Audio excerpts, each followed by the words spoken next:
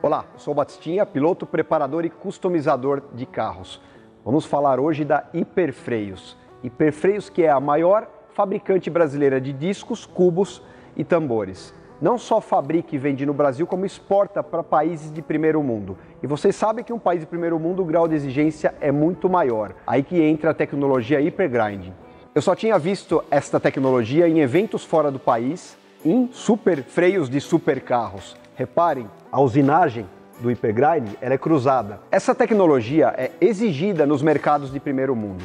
O que eu respeito na Hiperfreios é ela sem obrigatoriedade, ou seja, ela poderia ter essa tecnologia apenas nos discos de exportação e ela tem toda a linha de disco que ela vende no mercado brasileiro. Agora que eu já expliquei do Hypergrind, vamos fazer um teste.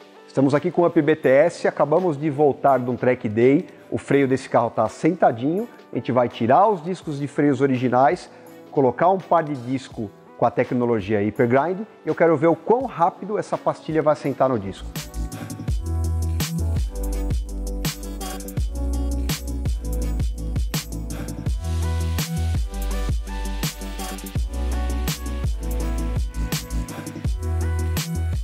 É comum quando você troca a pastilha e o disco de freio do seu carro, uma primeira freada mais forte, você sentir o pedal um pouco borrachudo. Com a tecnologia Hypergrind, isso não aconteceu. Percebi nessa pequena volta que a pastilha sentou muito mais rápido no disco. Lembre-se quando for trocar o disco de freio do seu carro da Hiperfreios.